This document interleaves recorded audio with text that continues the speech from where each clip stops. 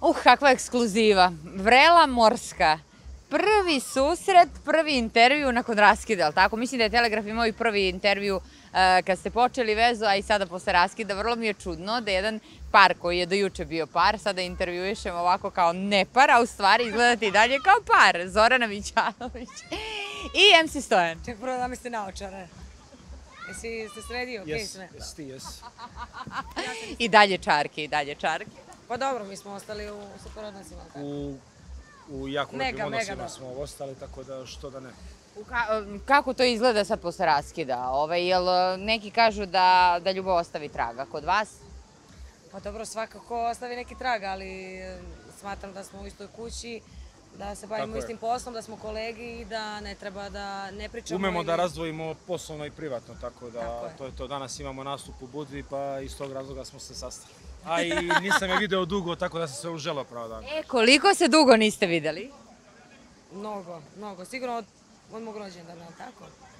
Pa ima mjesec dana, tako, mjesec i po. Pa da, da, da.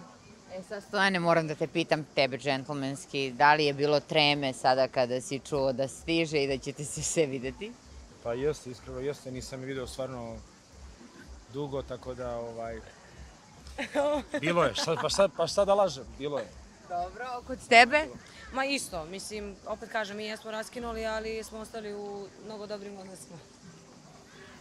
Dakle, još je, još je to sveže, čim ja vidim, ne možete vas dvoje da se pogledate u oči, sve mi je jasno, ali večeras ćete... A, zbog su... Stavio naočare. A zato je ona rekla, ajde stavi naočare, vidi kako, kako je Mogu da, pa ne krijem oči, evo. slatko mogu da pri- primetim. Ovaj, e, večeras prvi zajednički nastup imate. E, kako će to da izgleda? Jeste vežbali? Pa imali smo uh, zajedničke na tvom rođendanu, tako? Dobro, tad da, ja, ovaj, pa smo probali kao kako bi to izgledalo i super je. Ovaj. Pa vežbali smo preko kamere, ali večeras ćemo uživo, tako da vidjet ćemo. Imat ćemo tonsku probu pa ćemo probati sve. E sad, Zorana, nedavno izašao tvoj duet e, sa, sa Breskvicom, izazvao je zaista velike e, i burne komentare. E, tvoj duet sa MC Stojanom, tačnije vaš zajednički duet, i dalje je u trendingu, i kao i duet sa Breskvicom.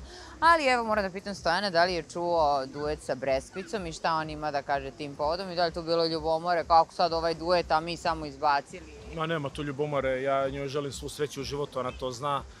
Može da snima duete sa kim god želi i uvek treba da i budu te saradnje, tako da ovaj, meni je pesma super, tako da ovaj, želim im svu sreću i da razvale ono što se kaže momački. E sad reci mi, da li si pročitala komentare, kakve komentare dobijaš nakon izlaska dueta? Pa što se tiče I komentara, odakle ti Breskvica? Pa to je svima čudno, zato što ovaj, do duše Breskvica, mislim i sama kaže da voli da šara sa, sa stilovima. Tako da ona je mene pozvala za duet, ja sam pristala i mislim to je više u mom fazonu nego u njenom. To jest. E, tako da zadovoljna sam, stvarno sam zadovoljna pesmom i sve ide kako treba. Već smo sed, sedmi u trendingu u Srbiji, nisam pratila ostale zemlje, ali pesma ide odlično. E, Stojane, kako si ti zadovoljan kako ide njihov e, duet Pa ja ne e, pratim i ja ovaj... više naš. A više Ja više naš Pa to, za tu sam te čekala.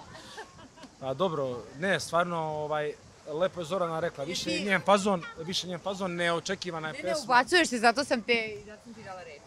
Pa, Ubacuješ se vreme. pa nije, nego lepo je rekla Zorana, više nje, ali dobro, što kaže, treba se šara, treba se eksperimentiše, treba se proba u muzici sve, tako da, ovaj, što da ne.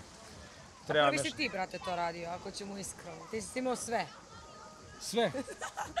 Ali si imao sam uh, duete, da. E sad recite mi, je vaš duet vas dvoje spojio? Kako ste spojili? A pre toga? Pre Malo toga. pre toga, ali u toku dok smo snimali pesmu, uh, dok smo provodili vreme u studiju, Javili se tada.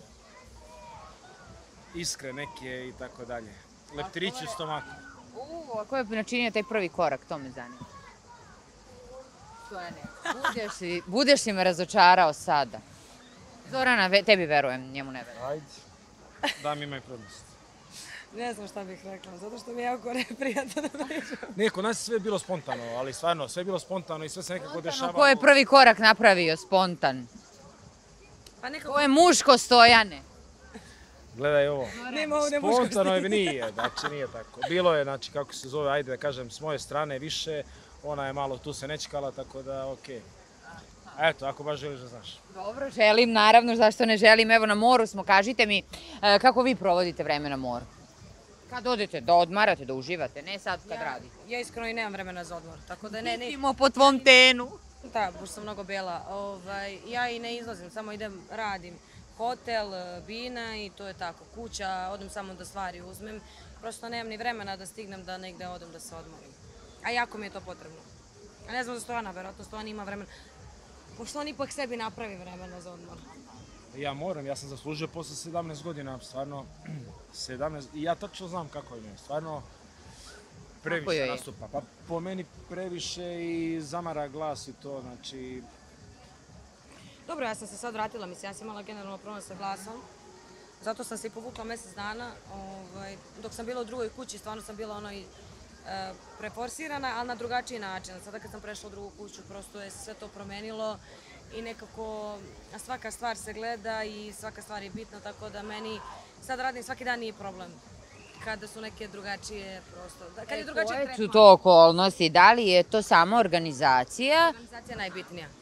Mislim da je to najbitnije i nekako prosto mora kuća da se bavi pevačem da bi i njemu bilo lakše. Jer svakako naš posao nimalo nije lak, raditi sa ljudima i to, e, raditi noću, e, prosto ti da na bini moraš da daš svaki deo sebe, tako da je to prosto, umoriš se od svega toga.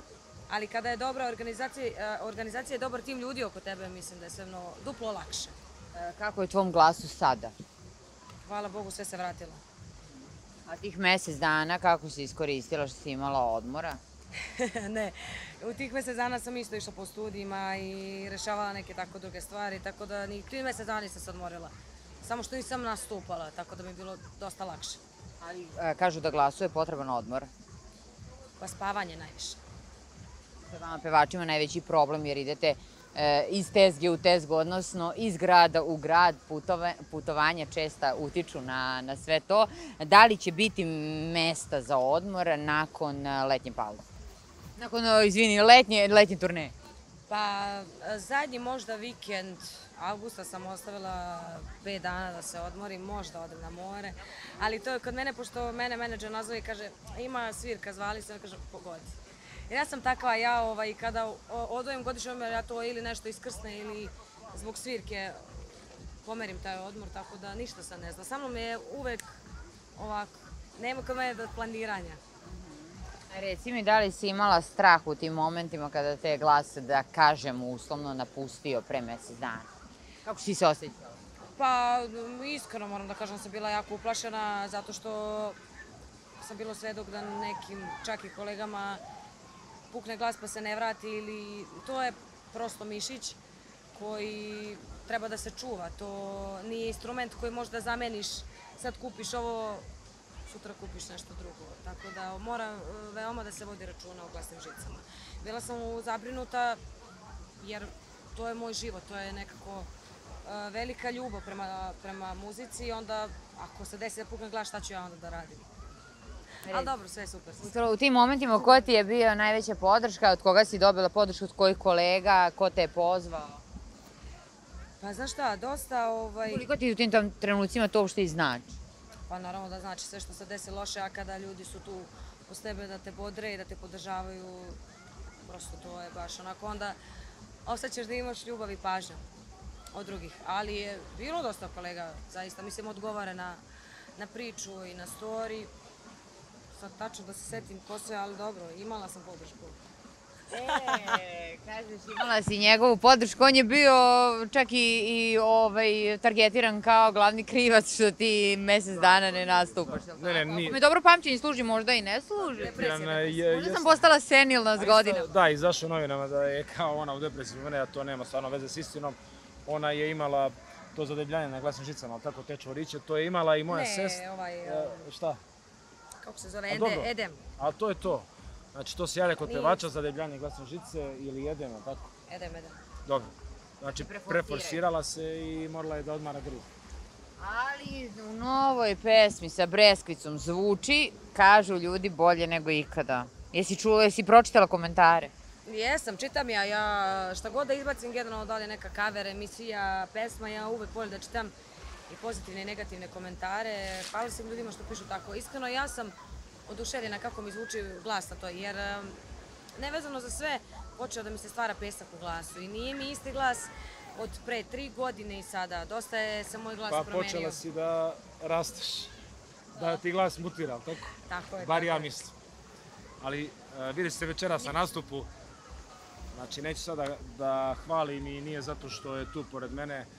A, bio sam na njenom nastupu prvi put, uh, gde- je bilo u Beogradu, pre, pre dva meseca. Odavno se bolje nisam proveo. I tako mlada devojka sa takvom energijom, sa takim vokalom, ima toliki, ima moćan glas, znači bukvalno i dobar repertoar i bukvalno daje celu sebe, znači bukvalno odavno nisam bio na boljem nastupu i nisam se bolje proveo. Ali da Ali evo stvarno, Momci, slobodna je, navalite. e, moj stojane, ne radi se. Kakav danak neiskustvo. nema veze. Tako je. Pa šta da se radi, idemo dalje. Naćemo stojano večeras devojku. Niko, evo, jel hoćemo? Naravno da Mi hoćemo. pratimo to da vidimo, pratimo i vas. Recimo u narednom periodu šta možemo da očekujemo od vas, ajde, zasebno. Uhu. Pa za sad e, ja tražim pesme i verovatno ću da radim ovaj EP. Verovatno ću izbaciti četiri pesma kao mini album. Ako nađem možda i ostale pesme, onda ću i ceo album da izbacim. Jer je generalno u današnje vreme jako veliki problem sa pesmama. Krševi se samo prave, ne prave se kvalitetne pesme. Pa, ide se na Kako, količinu. pa hiperprodukcija, pa dobro nije nego hi, ovaj, hiperprodukcija jeste. Ja zato ovaj, kad izlazi mnogo pesama, mnogo pevača izbacilo albume, po meni puklo dosta para, ovaj, kako se zove, mnoge kolege mi kukaju da su pukle dosta para na albume, jer eh, kad izađe 300 pesama za 20 dana, prosto ne može čovek, eh, znači neke pesme, iako su dobre, ne mogu da dođu do slušalca, znači zato se ja uvek fokusiram na jednu pesmu i onda pratim tako koliko izlazi albuma i uvek gledam da, da nekako, da moja pesma dođe do, do slušalca, tako da to je to. Dobro, ništa, onda pratimo dalje vaš rad, vidjet ćemo šta će biti večeras na nastupu, kako ćete se ponašati i, e, i šta izbacujete u narednom periodu. Pratimo sve. Hvala vam puno i uživajte u, u evo, čarima mora, romantici na moru, vidite kako je prelepo. Veliki Prelepo je, pozdrav, zaista. da. Veliki pozdrav za Telegraf. Za Telegraf, ljubimo te I za puno. urednicu. Ljubimo te puno. Ćao.